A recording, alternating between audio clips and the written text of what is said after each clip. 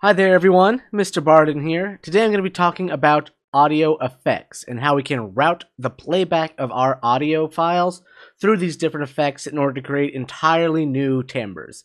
So let's roll the intro and get right on to it.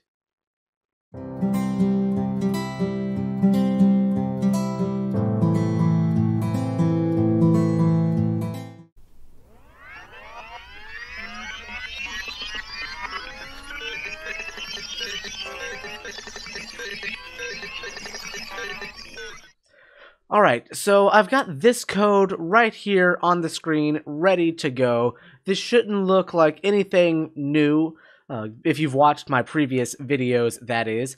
If you haven't, go check them out. Um, it'll make everything look a lot uh, more familiar. But basically, all I've got here is a sound file that I've used before, the one that goes beep beep, um, loaded up in tone, and it plays when I press the button. So we can listen to that and we can hear the changes as we start adding in these effects. I'll play it a few more times just to get it in your ear. One more time because I feel like being annoying. All right, so let's get on to it. So, how does this work? How can we route the audio different places? Because it's all in one place on the code right here. It's not like we're sending it elsewhere. Well, I like to think of it as if we're using virtual cables. I have my headphone cable here in order to send audio from one place to another. So right now I'm sending the audio out the main speakers uh, and it would be heard, it gets picked up and recorded in the video. But if I was to take it and physically connect my headphones into my uh, headphone mixer here. Plug that in, turn it up. I listen to it, put on my massive headset, and click it again. There we go. I can hear them in my headphones. We have routed the audio to a different place, this time using physical cables. And it's the same kind of idea that will kind of power what we're doing today, only instead of physically moving electricity from A to B using different kinds of patch cables. We'll be programming it all in our P5 sketch here using different kinds of algorithms and methods and commands and things like that. So I guess I should get into what is an algorithm in this context and what is an effect. So an effect is let's see, let me pull up here the tone documentation. This is a wonderful tool. I've mentioned it a few times, but haven't really gone into it in the videos. I'll have a link to this page in the description. Definitely check it out. This will be very helpful. But um, basically, this has everything that is in the tone library over here on the side. And you can search and find specific things uh, over here. And there's this section called effect. And these are all of the effects built into the tone library. There's other things that we can do, and we'll definitely be getting into more of them. Uh, we'll be talking about how to make synthesizers and other instruments and uh, other things, planning events, things like that. But for now, we're focusing just on effects. So each of these is essentially an algorithm or a mathematical process. That's really all an algorithm is. Where you put in one number, a process happens, and you get out a different number. To use a really basic example, x plus 1. You put in 5, you do x, you know, 5 becomes x, then you get out 6. You put in 6, that becomes 7. That's going to be the process, uh, again, extremely dumbed down, but that's essentially what's going to be happening here. In the computer's mind, all this sound file is that we've linked to is just a long series of numbers and it plays through them all, converts them into electricity, and tell that electricity tells the speakers what to output um, in terms of the sound. So because they're all just numbers, we can use that's not the right page. Use the algorithms in order to change and process them in order to create effects if you play guitar or do other kinds of uh, audio engineering, you may have some hardware effects, right? Like effect pedals or a you know analog reverb or compression that are physical boxes that, like my headphones here, uh, you connected uh, you know all of your sound outputs and inputs and all the wires to places it's the same kind of idea only instead of an algorithm you know a mathematical process it's a physical circuit that is processing the electricity voltages. So same idea only we've digitized it and moved it into the brain of the computer so we can work with ones and zeros. Now that's great and all but what does it sound like? Well, I'm glad you asked. So there's a bunch of different effects right here, uh, all along the side, um, and they all do different things. They're all different algorithms. So before we actually get into using and creating some of them, I want to draw your attention to the textbook for this course. Let me scroll back up to the top. This is a very long chapter, um, just because there's mostly a large amount of examples in it. This is specifically the lesson on audio effects. So I've got this diagram right here that kind of outlines everything. We have our sound file. We use the connect method to send it to an audio effect, and then we send it out the speakers. This uh, graphic is a little outdated. The to master uh, method no longer works in tone. They have updated it. It is now the to destination that we have been using. So I don't make the graphics for this page. I just do the text. Um, so eventually this will get updated, but just know that if you ever see to master, that means that the code is using an older version of tone. And if you were to do it, build it yourself, you'll need the to destination method instead. This shows that you can connect the output of the audio source into an effect and out to the speakers. And you can chain together as many audio effects as you need or want. Uh, so to do that, I've got a few different examples and a few important things. I'm just going to kind of go through most of these um, uh, examples because I think it gives us an idea of some of the more common effects, what they do and what they sound like, and how we can utilize them. So I've got this one right here. Let me scroll down just a little bit. So this has a delay. What a delay does is it takes in the um, the incoming audio signal and it delays its output. It's it's very straightforward in that regard. This particular code is playing with uh, a concept called wet and dry sound.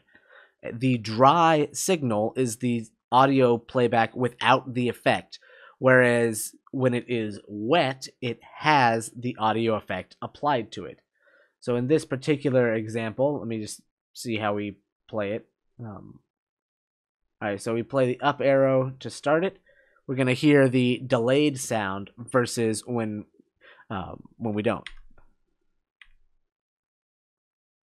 This one doesn't always want to play.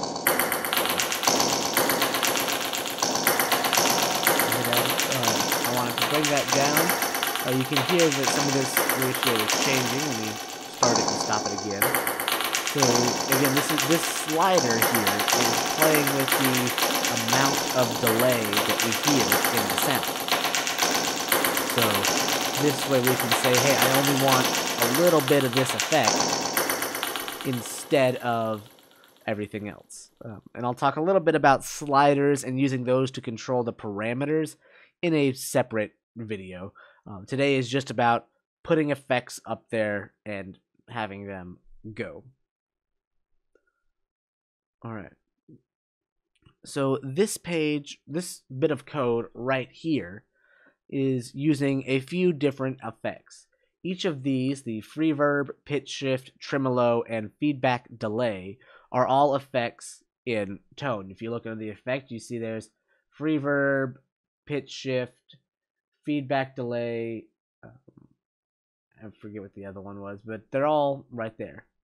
Tremolo, um, right there. And we can chain them together. So just like up here where we have one, instead of going from one effect to the output, we go from one effect to another effect and so on. So we're just continually processing these numbers. we can do this with the dot connect method. There's a few ways we can set this up. In this particular instance, we connect them uh, just right when we make the new effect. So just like making a new tone dot player, you can make a new tone dot feedback delay. And there's a typo right there. It should be F E E D back. You know, new tone dot pitch shift and so on. This is fine and it's very condensed and concise, but there is one thing that's important to know when you're doing this, and that is you have to make the effect before you connect something to it. Meaning our code here gets read from top to bottom, so we can't uh, we can't have our sound here connected to effect one before we've made effect one, and we can't connect that to effect two before we've made effect two. So essentially, you have to build this from the speakers backwards. So you'll notice as I go down, effect four is going to the speakers. Uh, then we make effect 3, which we connect into the effect we made on the previous line, and so on and so forth. We work our way back from the speakers to the sound file. So that's one thing. If you just add the, uh, you know, to destination, the two, the uh, connect methods, uh, just right here when you make them, you have to build it backwards. Nothing wrong with that. It's just something to keep in mind. What I have down here are a few other ways that we can do this. All right. So what I have down here, I've I've made this in the same order, and again, I need to fix some of these typos, um, but I got an extra period there. Um, so if you just copy this directly, you may have to fix a few typos in your code. I'll I'll be adjusting that after I work on this video. Um, but I've made all the effects and I've kept this in the same order only instead of connecting them right here, I've connected them down here in setup. And I think this makes a little bit more sense, even if it's a little bit more typing. Um, so you make all of your effects and you just say, all right, sound file connects to effect 1, effect 1 to 2, 3 to 4. It's just right there in line. And what this will do and kind of frees it up is you don't have to worry about the ordering as much because we've already made the effects. And now the next step is we're connecting everything up. So you could change up the order. You don't have to worry about it like you do up here of everything being correctly done. Four, three, two, one. You could change up the order however you might need to. You can add stuff and take stuff out with a little bit more flexibility one way is not right or wrong over the other. It kind of depends on how you want to work and you want to set up your workflow. So, whatever works best for you. I just wanted to introduce both of these ways of connecting your audio. Now, here's where the actual meat and potatoes of this page is, and this is the common audio effects. So, what I'm going to do here is go through some of the more common audio effects, as the lesson, the title here says. This is, these are all present right here under the Effect tab uh, on the tone documentation. I'm not going to go through every single one. A few of them sound fairly similar, but I'm going to go through the more common ones that you might be interested in or might run into in audio processing. But definitely check out the rest of these just to see what they sound like and what you enjoy. So let's go through here. The first one, and probably the most common effect you'll find in most places, is reverb. And essentially, a reverb is a bunch of very small delays or echoes uh, that when you play a sound in it, it makes the space the sound appear as if it's in a large echoey space, like an auditorium or a cathedral. Um, right? It's very echoey. So I've got that right here. Um, you'll notice I say parameters, and when we make these parameters, um, we make the uh, the reverb. Sometimes you'll notice that there's an argument that we can uh, put in to the effect, and that is what that parameter is. There's a bunch of them. So let's see. We have JC reverb. I go to JC reverb right here. Um, you'll see right here uh, reverb equals new tone.jc reverb 0.4. What this 0.4 is, is that room size. which is essentially the bigger the room, the bigger the number, the large, the longer the reverb is. Um, this is a number that goes in between zero and one. Uh, so we have all of that right there. Again, if you click on this, sometimes it's not on everyone, but there's a little example you can check out what it sounds like. I'm going to play this. I'll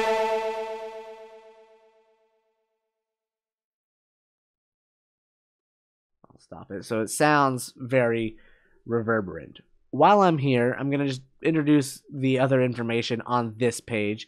Um, the everything about the JC reverb effect is right here. Constructor is what you need to make it. So you can say it's a new JC reverb. The argument here is going to be, again, room size. Um, and we have, it tells you what it is. If it's a normal range, you hover over that, it's going to tell you this is a range between 0 and 1. That's it. You can't have anything smaller than 0 or bigger than 1. The effect will break. Um, there's all of the properties, so you can say, I want to set the context to be some something here, and you can find out more about that if you go over all of it. Uh, but there's all the properties you can set. Um, let's see, where are my methods?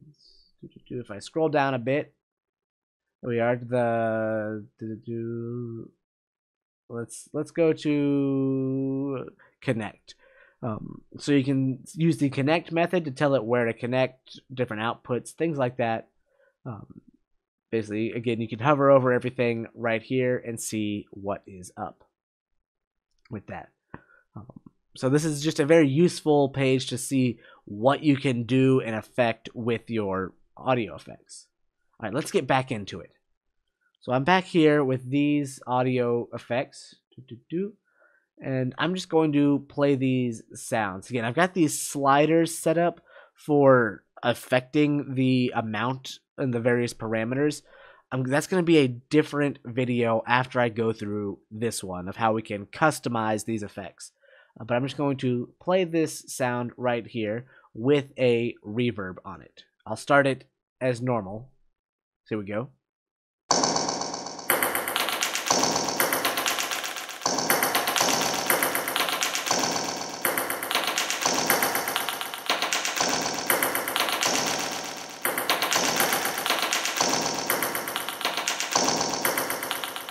We're getting the idea. So I'm going to now bring up the reverb, and you'll notice a very large difference when I play it again.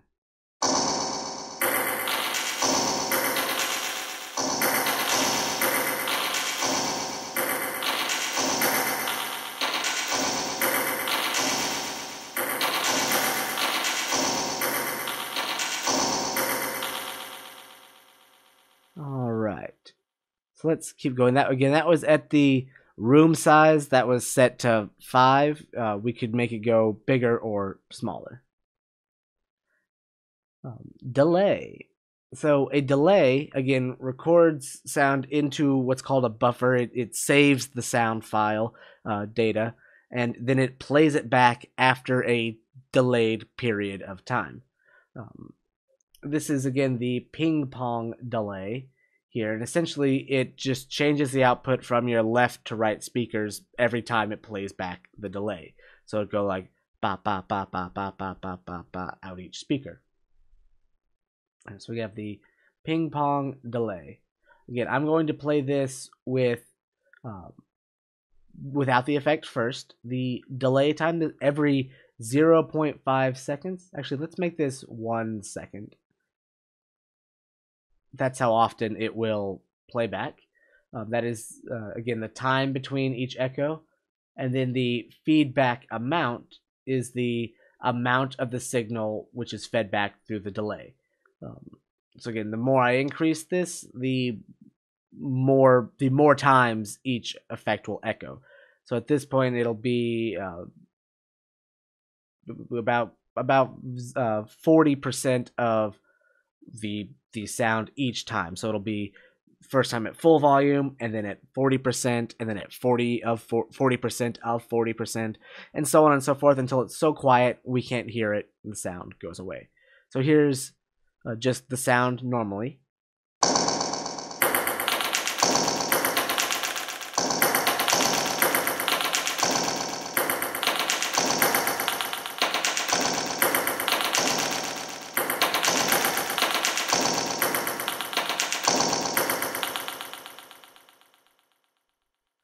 I'm actually going to move up a bit so we can see all the sliders. Here's the sound with the delay effect.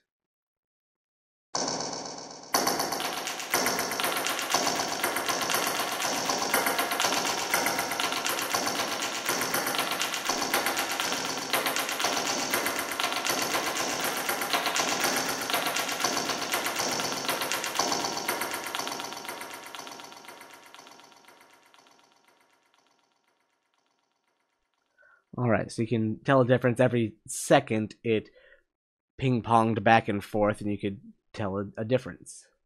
What I have next is distortion, and this essentially overloads the signal and it makes it uh, kind of clipped and gritty. It's it's a fun effect, kind of like uh, you know really cranking up the knobs on your electric guitar. Um, so I've got this right here, this uh, effect. We can affect the distortion. Again, zero is no distortion, uh, versus one is all of it. I'll talk about what the other stuff means again when we're working with these sliders. Uh, but here is the distortion, and this is just a tone dot distortion. So I'm going to turn down sound normally. Here we go.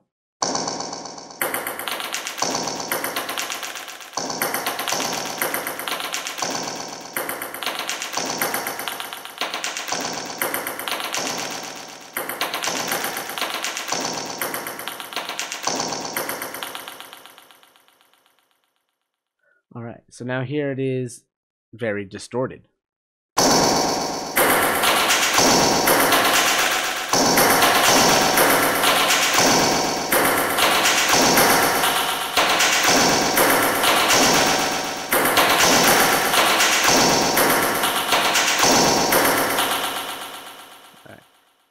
So moving on, we have a tremolo.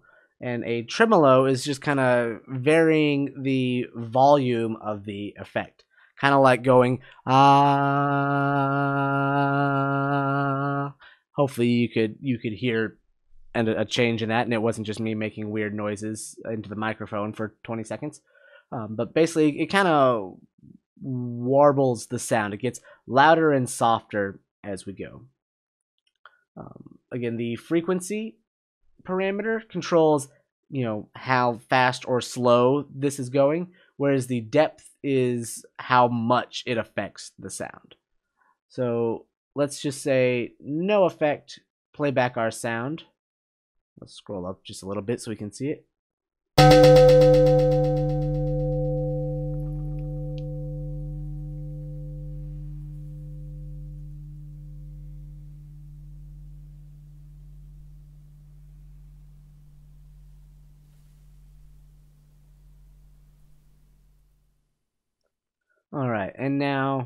Bring up so it's all you know all of the affected sound. Play it one more time.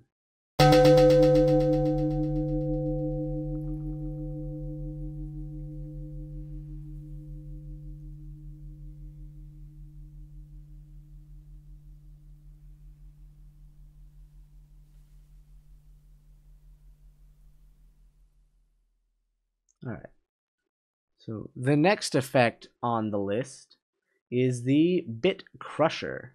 So what Bit Crusher does is it takes the bit depth of the sound, essentially the resolution of, of how many, you know how specific all of the samples can be when this audio is recorded and played back, and it reduces that. It's a type of distortion. Um, so I'm just gonna, I'll say I'll play it back normally, but then I'll put it at four bits, right about there, um, and play this back.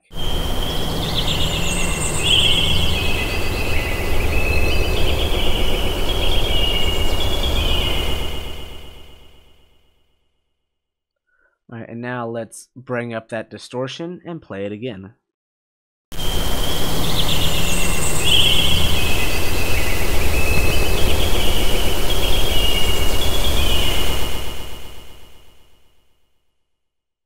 All right, so you could tell that was a much much more gritty and kind of lo-fi uh, example.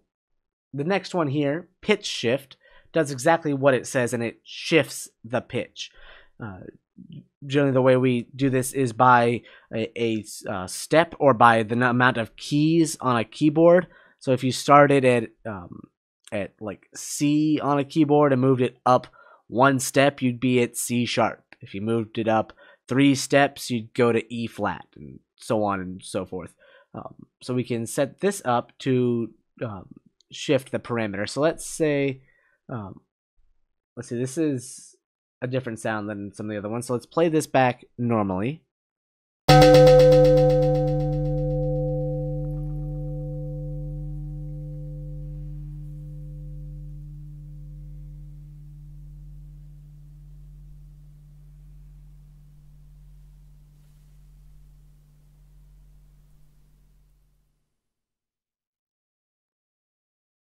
All right. So we have that there. Let's bring up the effect and let's adjust it. This time we're moving it up two steps. So you'll notice it'll be slightly higher.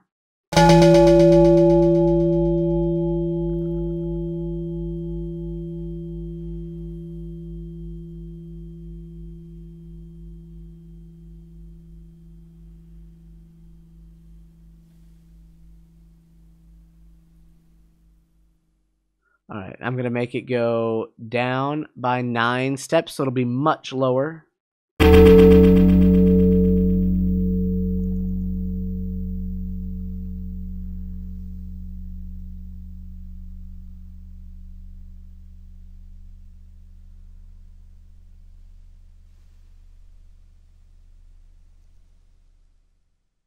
This time I'll make it go up by seven steps, so it'll be significantly higher than than the original one. This will be the last one I play just for the sake of time.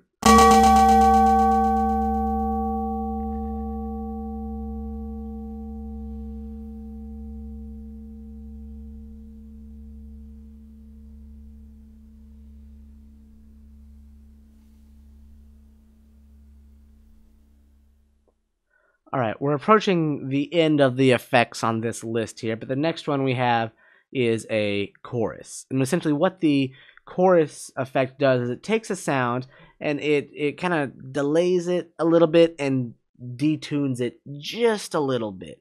You know, not enough to where it sounds like you have different pitches, but where it sounds like you have multiple uh, sound sources at the same time.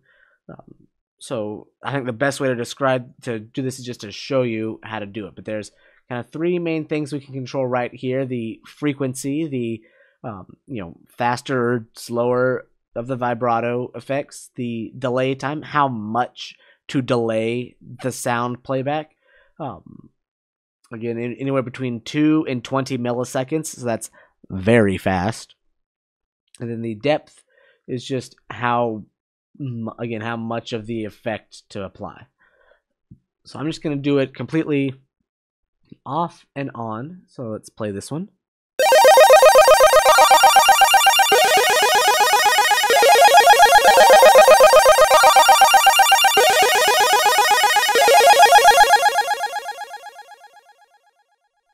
And now let's turn on that chorus.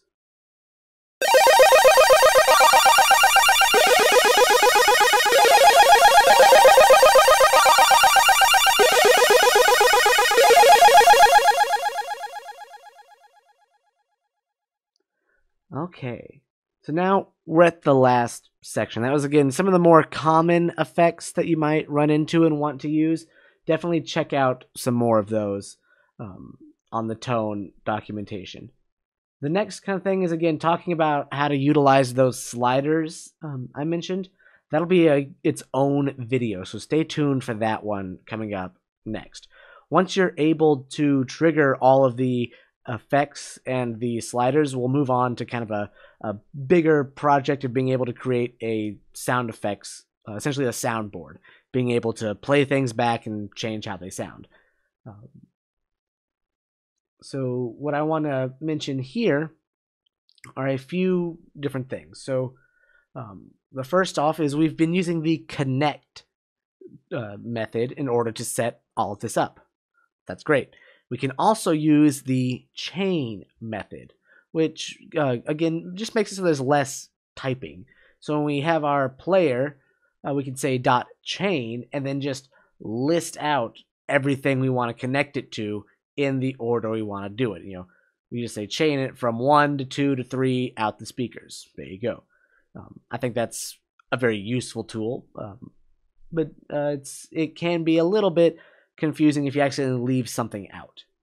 So we have all of that there, um, and then I've made a whole video about this. Um, you know, being able to set up things with the uh, tone dot players. It's slightly differently, um, but essentially what we can do is uh, we can run this uh, through this code. And I've got this code right here. Um, essentially, we can route specific sounds to different effects, which I think is uh, a great tool. Uh, but they're all loaded inside of one tone dot players object, so that way we don't have to go in and uh, make a whole bunch of objects to store all of our sounds. And the way we go about doing that is see I've got these two sounds loaded uh, and two different effects, uh, reverb and a pitch shifter. So what I get as we go down here is we can essentially say multiplayer dot player dot beep. You know, get the beep sound of the player and store that in a variable. And then I've got you know the sound I labeled down stored in another variable, and we can just say beep dot connect to reverb and down dot connect to shift. So now the beep will be reverby when we play it. And the pew kind of descending sound effect will be pitch shift pitch shifted down, which I didn't play the original, but yes, it is pitch shifted down. I've got a whole video right here talking about how to set that up. Um, so you can check that out on your own what I want to wrap this video up with, now that I've gone through my text chapter here uh, that I wrote, uh, is setting, is just connecting an audio effect uh, as a way to wrap this up. So let's see, rather than using reverb, let's use, where's my effects? Where we go? There we are. Let's use uh, let's use a phaser. That's one I didn't specifically mention. Um, this can be a, a fun one. Um, this just makes some cool sounds. So we can specify three different things. This is essentially, uh, how would I describe a phaser? It's similar to the, um, what effects did I go through today? Reverb, delay, distortion tremolo, bit crusher. It's similar in how it works to a bit to a chorus. There's some delays, some filters, uh, plays things in and out of phase. We get we get some cool kind of wow wow wow wow kind of effects when it's used in certain contexts. Um, so let's do that. Let's just add in a phaser to this sound. Again, here's that beep sound. All right, so let's add this in. So I'm going to add a variable called phaser. I'm going to say phaser is going to become a new tone dot phaser. So I have that there. And I'm actually going to remove this dot to destination as well. I'll connect everything up in setup. Um, but a new tone dot phaser. What are the parameters we want to give it here?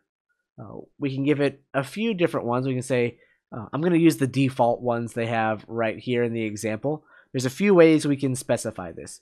We can just say, was it 15, 5, 1000? We can just say 15, 5, 1000. Um, and that'll work. We could also set it up how they have it uh, here and open it up and say uh, use JSON notation to say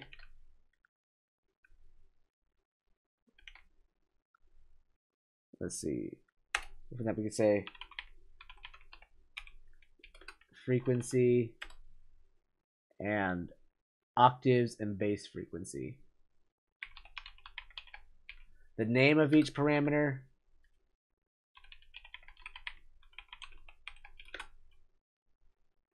I think I've got that right. Base frequency. Yep, there's a thousand. We can set it up just like that. Um, both of them are fine. I'll, I'll leave it like this just so we can tell what each of these parameters is. The next thing I'm going to do is connect everything. I'm going to do that in setup. So I'm going to say player dot connect to phaser. Phaser and phaser dot connect to tone dot destination. I could just say dot to destination. They they're both the same thing. Um, so now we'll be able to play this back, and we'll be routing. excuse me, the player to the phaser to the destination. So let's play it back.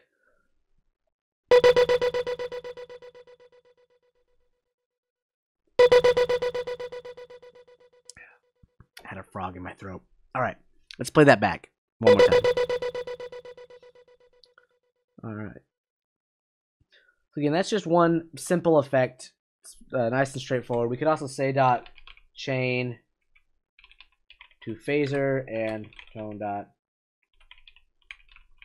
destination for the same effect. It's all right there. Um, so you, you can, I'll make this code available in the description. You can play around with it. You can switch out the effects, the parameters, uh, check out all of that. Again, this was mostly just me demoing these effects and how you can chain them together. Uh, so again, this is just a single one. Um, so we can add more of them. You can add any of the ones I've mentioned in here to look at and any of the ones under the effect tab. Those are kind of all of your options. So I definitely encourage everyone to play around with that. Uh, if you want to, feel free to share the links to your sketches. I love seeing what people make. If you have any questions or comments, go ahead and put them down in the comment section below. And like always, I will put any relevant links in the description. That's going to wrap it up for this video, so I will see you all the next time that I see you. Bye.